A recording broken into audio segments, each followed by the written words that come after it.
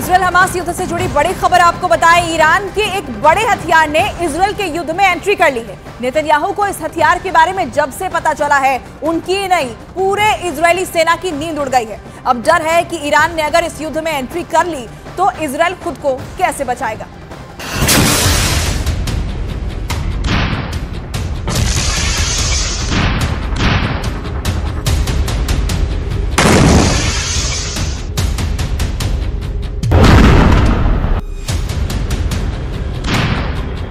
Israel को एक नहीं, दो नहीं, तीन नहीं, दस, बीस नहीं, सौ, दो सौ नहीं, बल्कि तीन सौ अट्ठावन मौत देना चाहता है ईरान। इसराइल के सामने इतने दुश्मन खड़े हो गए हैं कि उसे तीन सौ अट्ठावन मौत देना चाहते हैं। इसराइल ने गाजा पर जितने बम गिराए हैं, उसका बदला तीन सौ अट्ठावन मौत से लेना चाहते हैं।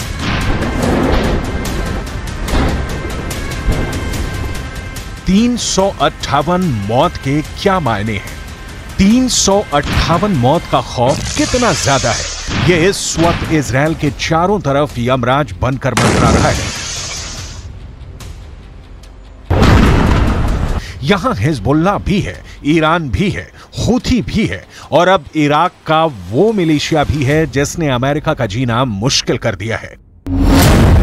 आखिर तीन सौ अट्ठावन मौत है क्या? और इसराइल क्यों इससे घबराया हुआ है?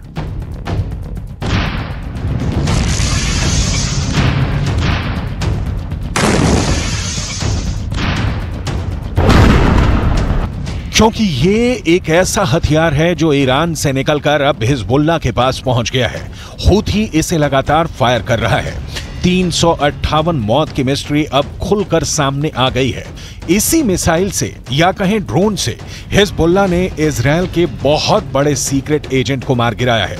हिजबुल्ला के महासचिव हसन नसरल्ला ने कहा था कि वो इसराइल के खिलाफ उनका हर विकल्प तैयार है और इसी का हिस्सा है तीन सौ अट्ठावन मौत। ये है ज़मीन से आसमानी टारगेट्स को खत्म करने वाली 358 मिसाइल।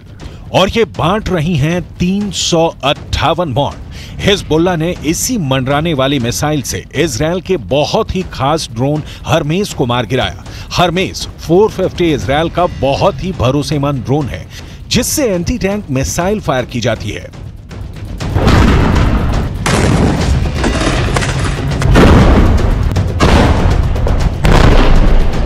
जब ये ड्रोन लेबनन के आसमान में पहुँचा तो हिजबुल्ला ने उस पर तीन मौत बांटने वाली मिसाइल फायर की।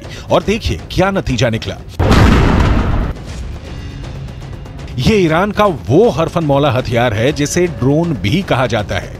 ये ईरान की मिसाइल भी है, जो ईरान की ड्रोन टेक्नोलॉजी को मौत बरसाने वाली सबसे नई तकनीक साबित कर रही है। ईरान से निकली तीन मौत। इसराइल के खुफिया मिशन को धुआँ धुआँ कर रही है। ये मिसाइल भी है और ड्रोन भी। ये कैसे अपने टारगेट को खत्म करती है? इसकी तकनीक की बहुत बारीक बातें समझ लीजिए। 358 नाम की ये मिसाइल एक ड्रोन की तरह काम करती है, जो फायर करने के बाद आसमान में आठ नंबर के आकार की तरह गश्त लगाती रहती है। और जैसे ही टारगेट इसकी जद में आता है, ये उससे जाकर टकरा जाती है। 358 मिसाइल में आगे की तरफ़ लगा इंफ्रा रेड सेंसर इसे टारगेट की भनक देता है और फिर यह अपने निशाने की तरफ़ बढ़ जाती है। ये एक ड्रोन से तेज रफ्तार से चलती है, जबकि एक मिसाइल के मुकाबले में इसकी स्पीड कम होती है।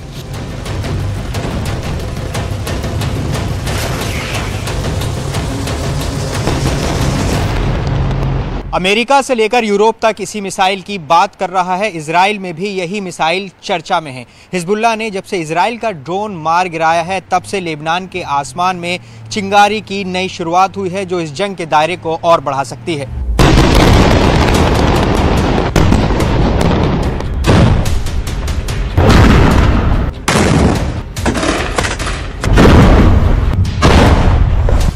इस बीच ईरान से एक नई तस्वीर वायरल हो रही है। ये है ईरान के सुप्रीम लीडर अली खामनेई की, जो ईरान के गाजा नाम के ड्रोन को देखने पहुँचे इस ड्रोन को ईरान का सबसे पावरफुल लीडर क्यों देख रहा है? इस वक्त पूरी दुनिया में इसके मतलब निकाले जा रहे हैं।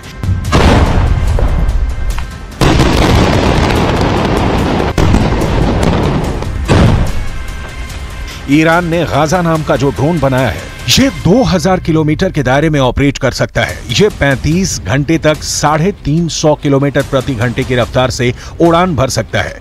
पैंतीस हज़ार फीट की ऊंचाई तक उड़ सकता है और सबसे खतरनाक बात, ये तेरह मिसाइल लेकर उड़ सकता है।